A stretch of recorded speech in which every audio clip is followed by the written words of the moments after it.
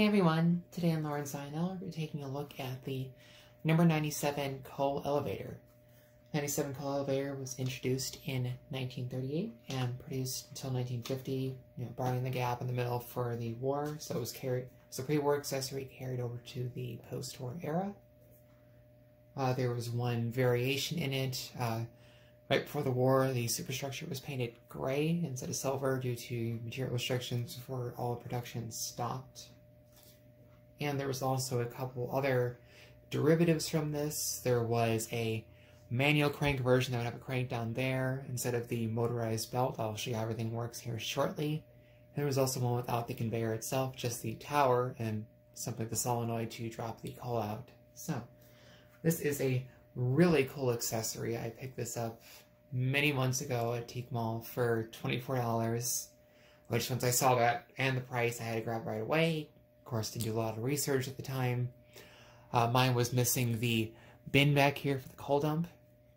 So I had to source that, which ended up costing just about as much as I paid for the elevator. I think actually a dollar more. I think it was about 25 but all the other 50 it's still a very cool accessory. I do not have the original controller for it, unfortunately. Uh, the controller would come with, I think, is a 97C. It looks like your UCS controller here, but the left button would be a on-off rotary switch here.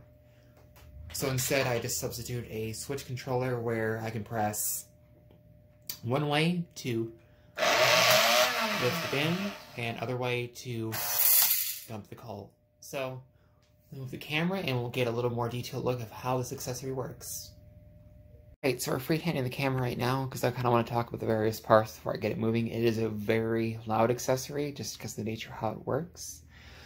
So come down here, it starts at the coal dump bin. You'll dump your car in, which we'll do shortly, into this uh, plastic bin here.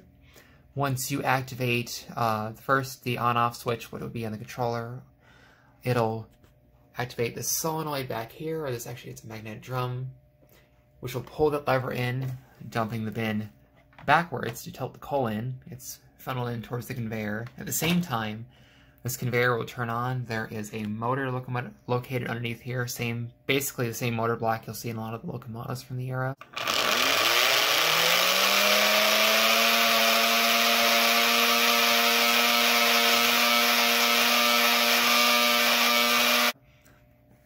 And that'll go uh, through a pulley system here, starts the conveyor belt, your conveyors will go up. And then finally it'll dump into the hopper up here. I can get the flash light turned on. Dumps into the hopper. At the bottom there's a chute gate. We'll go underneath, see a little bit better before it operates. For solenoid, you press that button on, on the controller, activates the solenoid, opens up the gate, and your coal will shoot out into the hopper. So, we'll set the camera down somewhere proper, and we'll start showing it in operation. So first things first, we'll dump our coal into there. You can use any coal dumping car from the pre-war ones, post-war. This one was introduced in the MPC era. It's a bit more modern version. It's a little bit, it's just as wide as the bin, so it will make a little bit of a mess when you dump it. But regardless, it still works. So we'll go ahead and dump this in.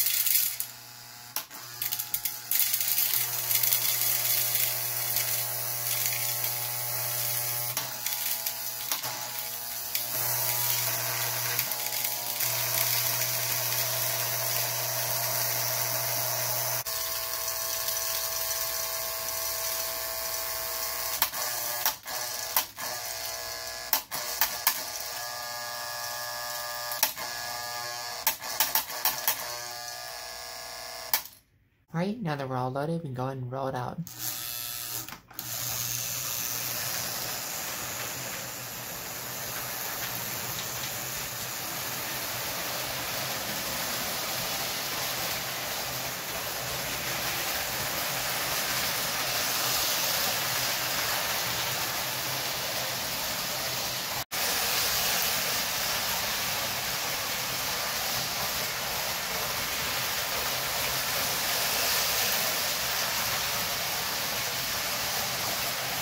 So a little bit addendum before we finish up the video here.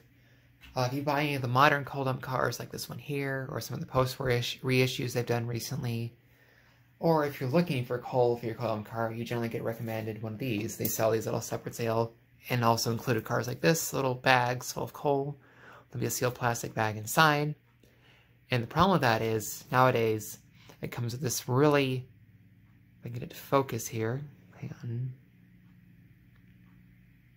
Almost had it. Come on. Come on.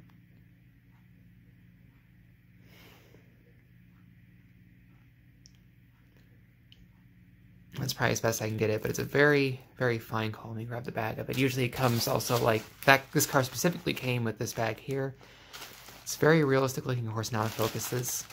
And very fine, and quite frankly, for any of these cars, which are very hit or miss operation, when it makes a mess, it's hard to clean up. On this layout, I've had to get the vacuum out, which I normally vacuum it anyways, but it ends up all going away, so it gets stuck kind of in the fibers, especially if you're doing this on carpet, it make a mess.